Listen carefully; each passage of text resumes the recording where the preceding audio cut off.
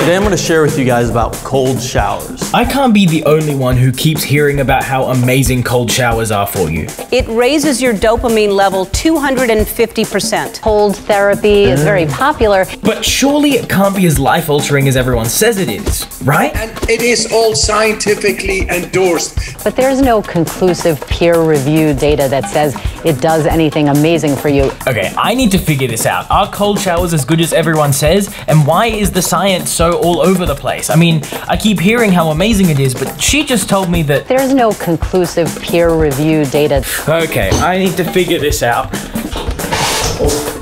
Ah,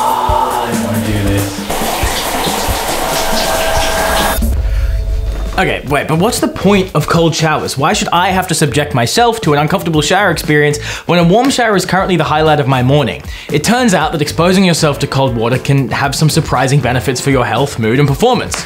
But how does it work? To be totally clear, I have done zero research. I'm literally just gonna put the shower on cold and I'm gonna step in and see what happens.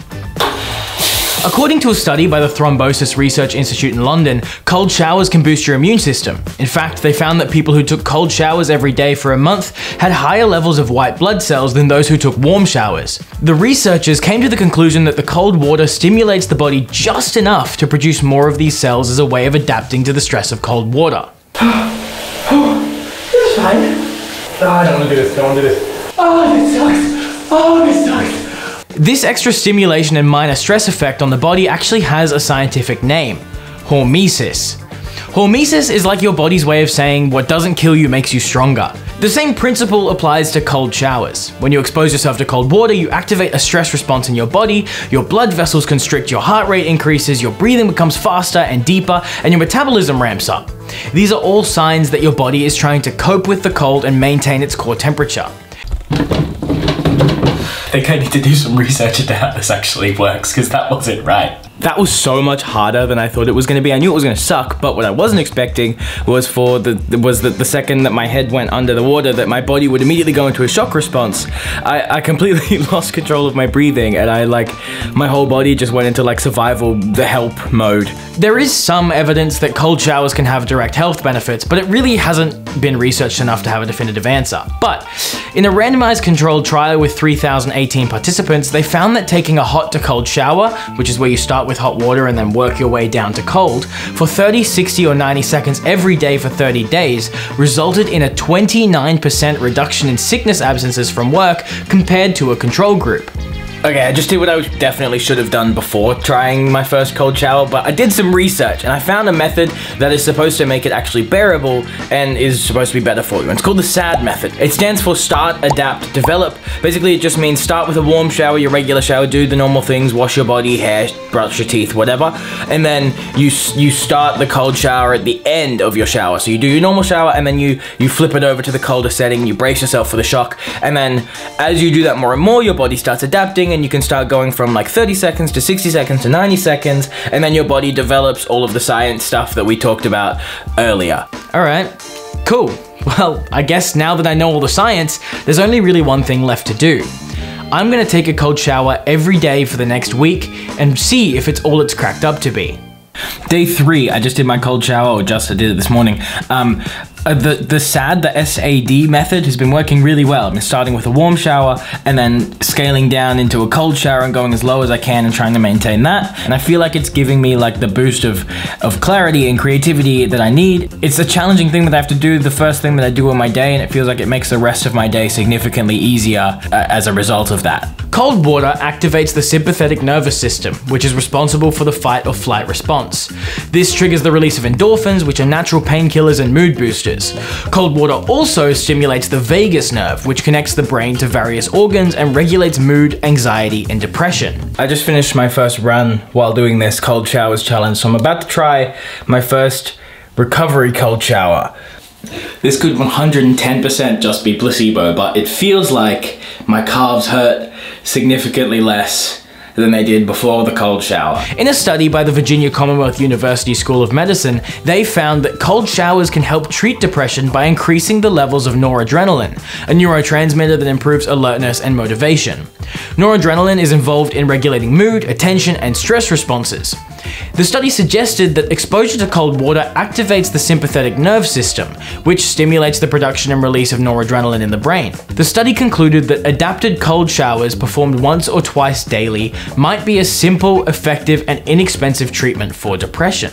Okay, again, this could 1000% be a placebo, but I feel like I have more energy during the day. I feel like happier, I feel more focused and energized, and I don't know if that's that could be due to a million different factors, but the only thing that I've changed in my routine is the cold showers.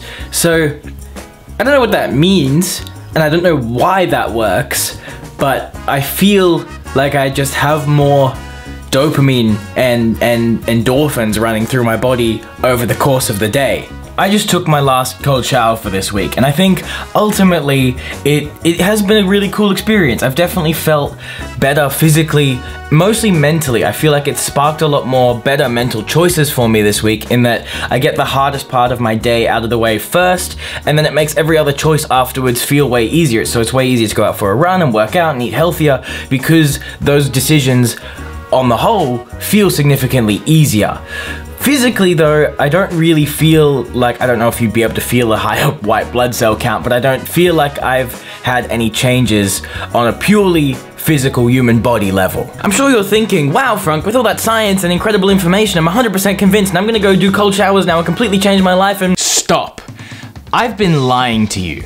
Or more accurately, I've been presenting things as fact when that's not entirely true.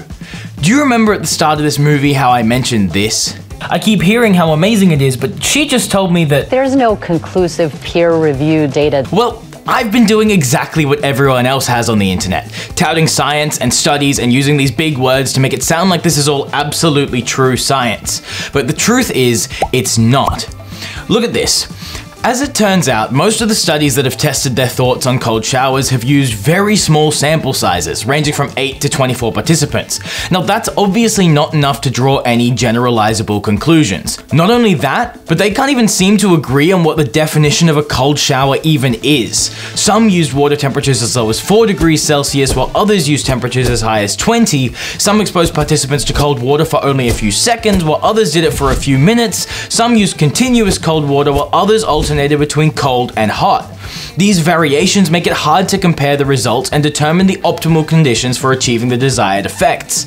And do you remember how we talked about increasing white blood cell counts? Well, that sounds super cool and important, but this claim is also based on weak evidence. Most of the studies that have found an increase in white blood cells after cold showers were conducted on athletes or people who regularly practice cold exposure outside of cold showers. Now, these people had most likely already developed an adaptation to cold stress that enhances their immune response, so it's not clear if the same effect would apply to people who are not used to cold showers or who have weaker immune systems. And on top of that, some studies found no significant difference in white blood cell count between people who take cold showers and those who don't. And even if there is a difference, it might not even translate into any meaningful health outcomes. In that one study that I mentioned that found that people who took cold showers for 30 days had fewer self-reported sick days, that could be due to a million other lifestyle factors, such as placebo effects, reporting bias, or even just general lifestyle changes. Even the mental health claims that I made are janky. Most of the studies that have investigated this effect have relied on subjective measures of mood and well-being, like questionnaires or scales. These measures can be influenced by personal expectations, social desirability, or mood fluctuations. And going deeper, these studies didn't control other factors that can affect mood and mental health, like sleep quality, diet, exercise, social support, or even medication. Additionally, some studies found no significant difference in mood or well-being between people who take cold showers and those who don't. Now, that doesn't mean that cold showers are useless or harmful. They might still have some positive effects for some people. I mean, I definitely feel like I benefited from them.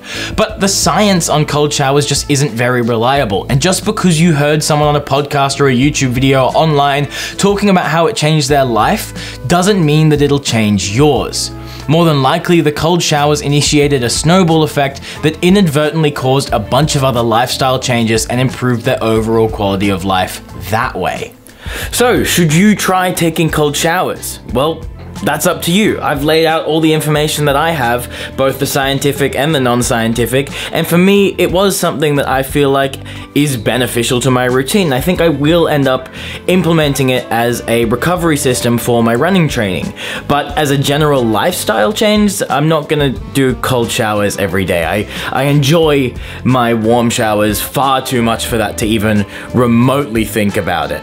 But should you try it? Well, no, I'm not here to live your life. I'm just here to give you all the facts and my experience and hopefully inform your decision in some way. Let me know if you have any ideas for things that I could cover in the future. And don't forget that I have a Patreon. It's at the top of the description. I make all of these things completely alone by myself and supporting me as an independent artist means the absolute world to me. And you'll get your name right here at the end of every movie, which I think is pretty darn cool. All right, that's it, and I'll see you next week.